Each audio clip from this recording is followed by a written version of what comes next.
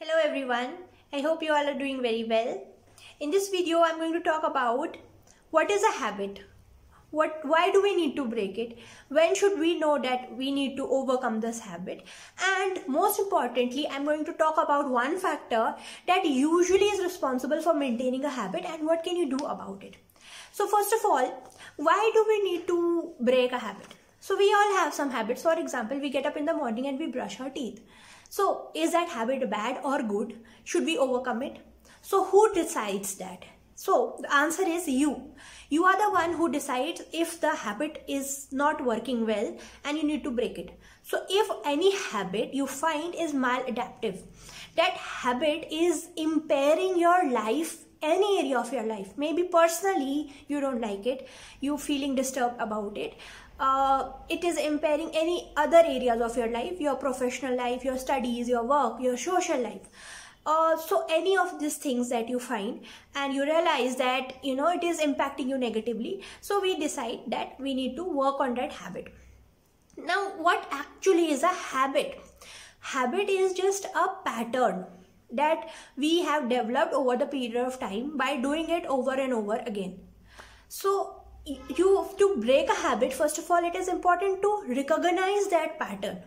For example uh, if you you have to uh, you get up in the morning and you go to a specific room and do your uh, yoga. So um, that room is a place where you always do yoga so that atmosphere you get a trigger that this place is my yoga room or meditation room. So every time you go there you have a uh, you it's automatically in your mind that you do it. Uh, similarly there are some triggers in the environment some stimulus in the environment which make you uh, give which give you a clue that you need to do that. So we have some triggers in the environment. We have some triggers uh, like uh, the time of the day that in the lunchtime you uh, i mean in the daytime you eat your lunch. So similarly when the night is there you do some specific activity. When the morning is there you so. So there are some patterns that we develop.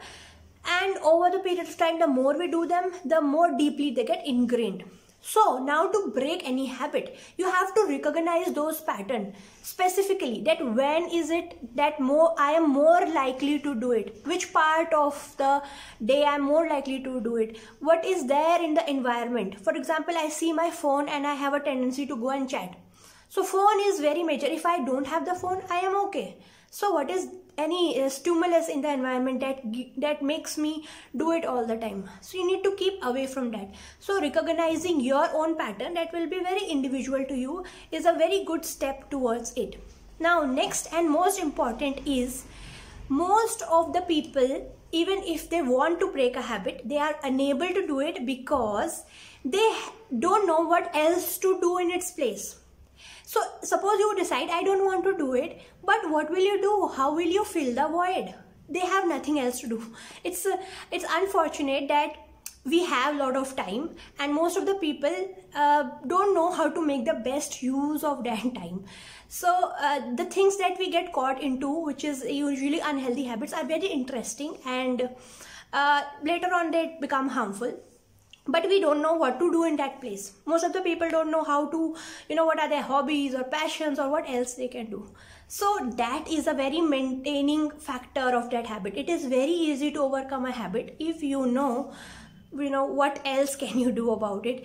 And unfortunately the more of the time we have it becomes a curse rather than a blessing.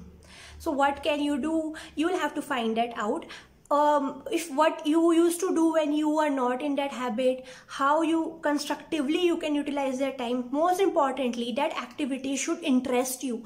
That activity should hold your interest so that you're engrossed in it. You're so busy in that that you have no other time to think about anything.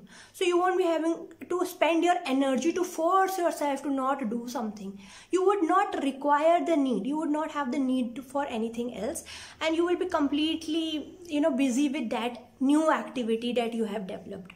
So I hope these three things really help you to overcome habit. If you have some innovative and creative ways in which you have overcome any old pattern or habit, please do tell about it in the comment section. Take care. Bye-bye.